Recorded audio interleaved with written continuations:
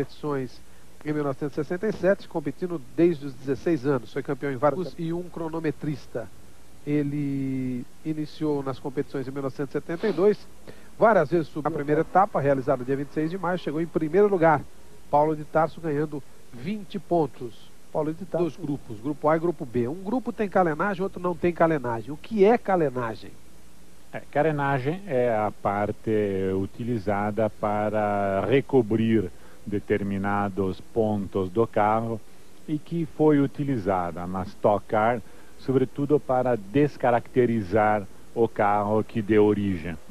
Os senhores sabem que houve em determinado momento um problema entre eh, as autoridades esportivas, os pilotos da Stock Car e a patrocinadora, que era a General Motors do Brasil até aquele fixa igual para todos, é, não substituído. Normalmente, né, Carsu? Se tudo correr normalmente, nós deveremos ter, portanto, esses quatro carros. O carro 80 ou 10. Definida daquilo que é motor, originalmente um motor Opala de série, transformado e trabalhado para se conseguir um melhor desempenho conseguir eh, uma potência maior para, independentemente do quilo que ele gasta como combustível, o que é o gasto mais pesado, combustível menos. O que é o gasto mais pesado são as revisões, depois de cada corrida você tem que desmontar todo o motor, eh, rever o câmbio, trocar a embreagem, dependendo da duração da corrida. E numa utilização num carro de rua, por assim, rua entre aspas, é lógico que esse preço fica fora do alcance eh, da normalidade das pessoas. É verdade. Agora, um carro desse, há algum cálculo, Katsug, de quanto um carro desse faz por quilômetro rodado, vamos dizer assim, em termos de combustível? Deixa ver, é, normalmente, digamos, um ponto de maior velocidade, aí os senhores têm uma tomada do conta-giro, no ponto de maior velocidade, eles devem estar desenvolvendo um 215 cavalos, com álcool eu acho que se fizerem 2 km por litro está muito bom. Opinaria mais por 1.7, 1.8. E a gasolina nas competições, por exemplo, gasolina azul, como é o caso da Fórmula 1, por exemplo? Aí naturalmente teria um rendimento um pouco superior, porque a gasolina tem um poder calorífico. Os três carros não conseguiram tempo no treinamento de ontem. Eduardo Pimenta, carro 5, Pedro Marques Souza, carro... Largaram os pilotos Muita velocidade para você aqui na Jovem Pan. Pan.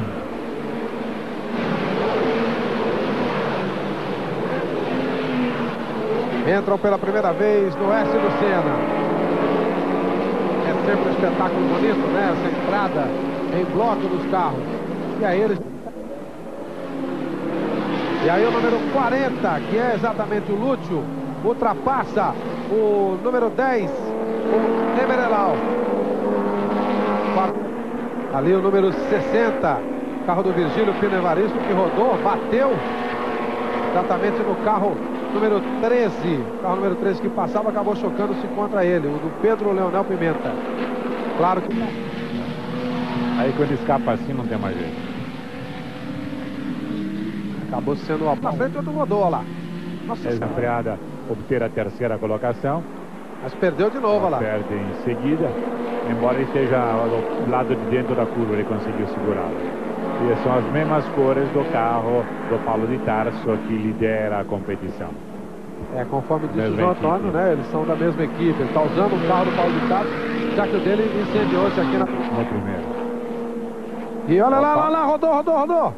Rodou o Nemerelão, foi embora o Paulão. Chegou a tocar, inclusive, o Paulão, né? Chegou a tocar sim. nele, sim. A diferença entre ambos da ordem de 2 segundos, ponto 4. Veremos se o Paulo de Tarso consegue administrar essa vantagem até a chegada. Completada a quinta volta. Vamos para a sexta volta. Opa. Só, só que também aerodinâmico. Opa! E olha aí, olha aí, olha aí. É o carro do líder, virou espetacularmente. Nossa! Que coisa impressionante a virada do Paulo de Tarso Marques.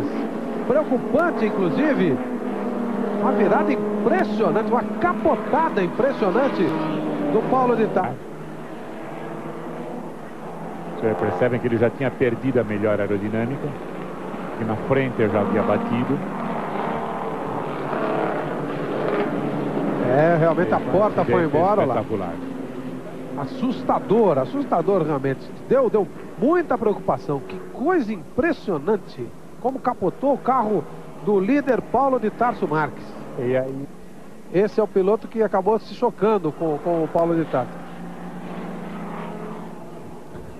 Super revoltado o Paulo de Tarso. Poderia ter, ter perdido a vida. Claro. né? Agora é uma questão de analisar. Teve culpa o outro piloto, Carson? É, não se pode analisar só por esse lance final, porque os senhores viram na tomada de frente, antes da batida, que já à frente, olha aí, à frente já tinha batido. Mente. Olha lá, ele tá chutando o carro que bateu, né? Tá super revoltado. Agora o carro do Paulão bateu. Acabou, né? Os quatro carros bateram. Nossa senhora. Não, ou será que a batida do Paulão foi com, foi com outro carro que não do- do grupo B?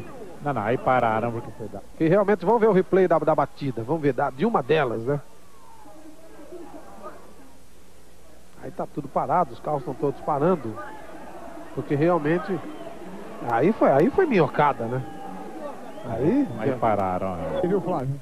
Vamos ver de novo, vamos ver de novo aí o, o replay dessa batida. Olha lá, o carro vem chegando e bate. Mas aí já, já viu uma batida anterior. Eu tenho a impressão Sim, que a claro. bronca é da batida anterior. Né? O Paulo de Tarso, aquele carro 40, se- um dos carros envolvidos naquela batida era o Lúcio. Aí vamos ver de novo o capotamento.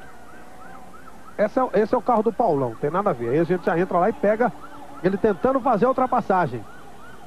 Deu muita sorte, hein? E o Neymer não se conforma. Deu muita sorte o Paulo de Tarso. Puxa vida. Graças a Deus não aconteceu nada, porque olha, se alguém disser que não aconteceu nada com o piloto, não dá para acreditar. Não dá para acreditar. João, O Neymer não se conforma. O piloto. Zé. Dá pra largar, não? Dá, vou amarrar aqui, dá. O Paulão vai amarrar o carro. O Neymer vai amarrar o carro também. Realmente impressionante. quando a gente está mostrando, já mostramos algumas vezes, vamos mostrar daqui a pouco de novo, o, a capotada incrível do. Vamos ver. É naquela, naquele, naquele momento de ultrapassagem, né? Que ele tentava ultrapassar. Aí ele vira, bate. Realmente houve a batida. E aí ele foi embora. Foi naquela ultrapassagem anterior. É, o Paulo chegou por trás, deu um toquinho e passou. E, e- não são carros projetados para a corrida. Então, em determinadas situações, o que sobrou dele, né?